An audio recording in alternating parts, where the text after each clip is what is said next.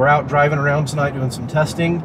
Uh, you can see I've got a digital dashboard here that shows my live sensors and what the speed, what the decibel rating is. We did a bunch of before and after testing here and we're going to compare that and see what kind of actual improvements we got on this system. There's a lot of good videos out there about sound deadening and increasing the stereo quality in your car. Um, this video, I want to try something a little different. Rather than just do the door knocking test,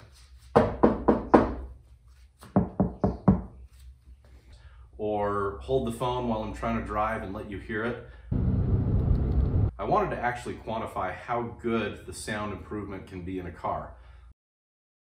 I've got a sound decibel meter. I'm going to tap that into a Campbell Scientific data logger with GPS.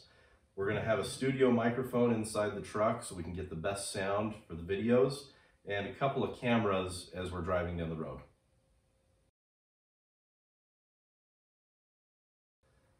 For the sound deadening, I wanted to go with a non-asphalt based sound dampener.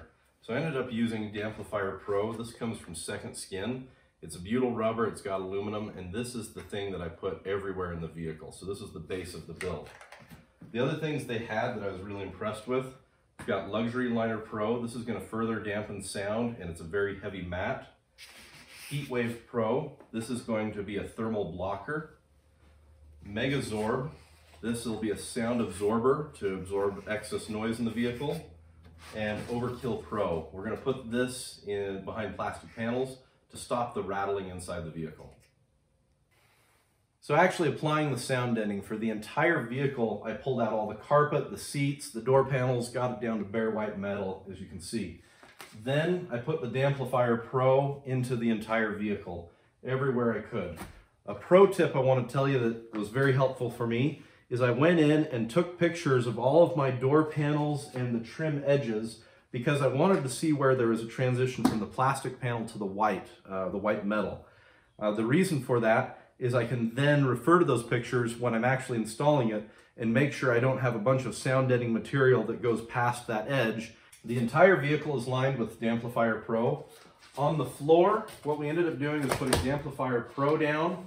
I then put Luxury Liner Pro and then the Heatwave Pro on top of that. So I've got three additional layers on the floor. That's not counting the factory insulation and carpet. Uh, I have the factory floor mats, and then I've got a heavy duty rubber floor mat on top of that. So I've got about six layers of materials now on my floor. So for the doors, both the front and the back, I ended up using the Damplifier Pro to sound deaden the outer door skin.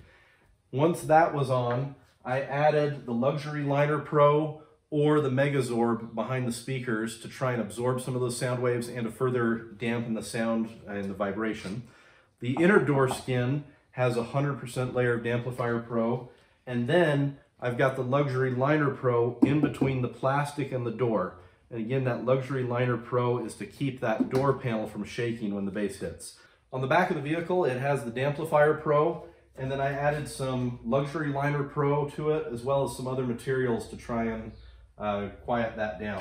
The roof of the vehicle has the Damplifier Pro, and then I have two layers of Mega Zorbe, and then it goes to the factory headliner.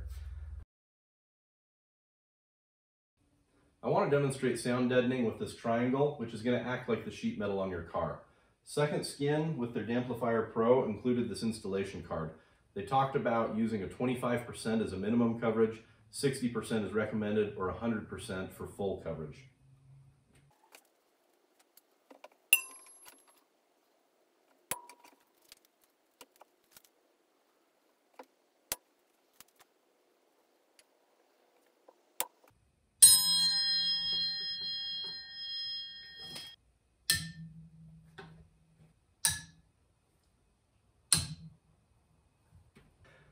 For the sound system upgrade, I went with a combination of Pioneer and JBL. The head unit's a Pioneer 2550 NEX. I really liked the Apple CarPlay, uh, Android Auto, and the user interface was really good. To get a little more power to the speakers, we're going to use the Pioneer 4-channel amplifier, and the speakers are JBL GTO series.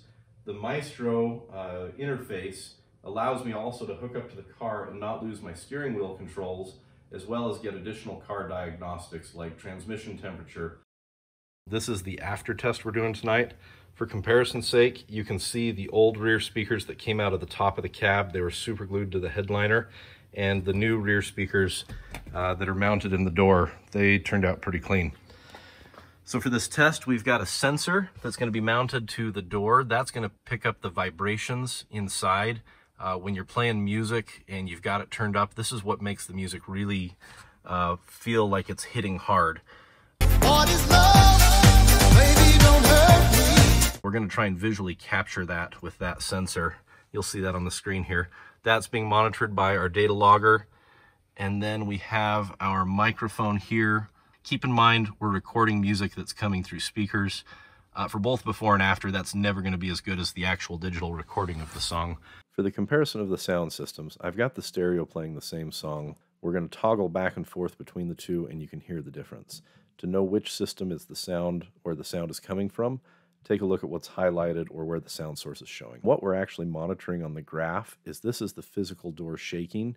Uh, we're measuring it in g-forces, so as you've got a lot stronger bass, you're going to see that and it's going to shake the door a lot more.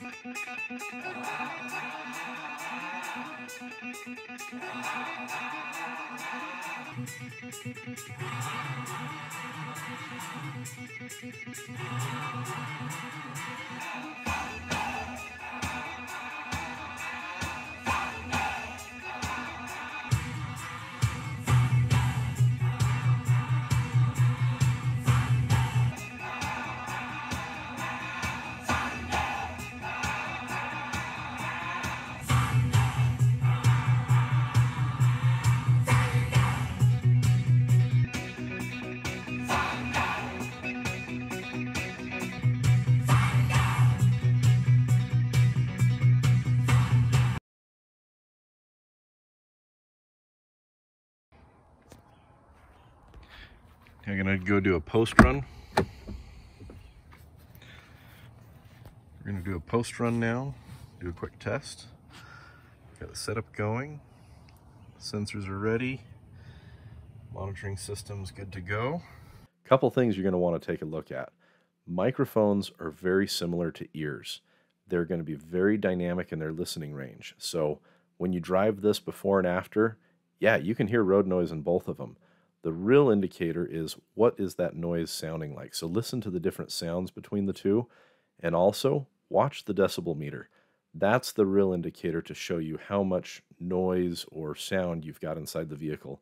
Keep in mind when you cut 3 decibels of noise, you're actually cutting the sound in half. So it's significantly quieter even though your ears and the microphone adjust to it.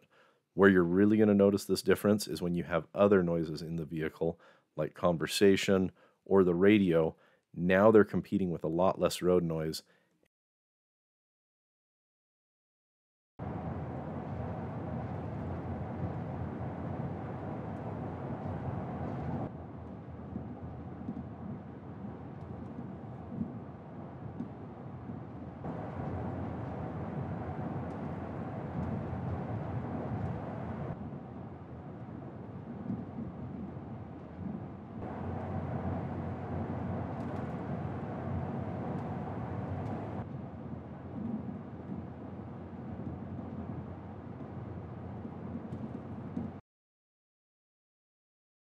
I've got a graphic created of vehicle speed versus decibels, and here you can see the factory performance. Nerd alert!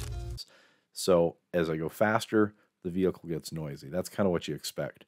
When you look at this graph, I put in some comparisons over to the right, show you a very quiet rooms in the 20 decibel range, a conversation maybe 50 decibels. It starts getting really loud up in, you know, above 60.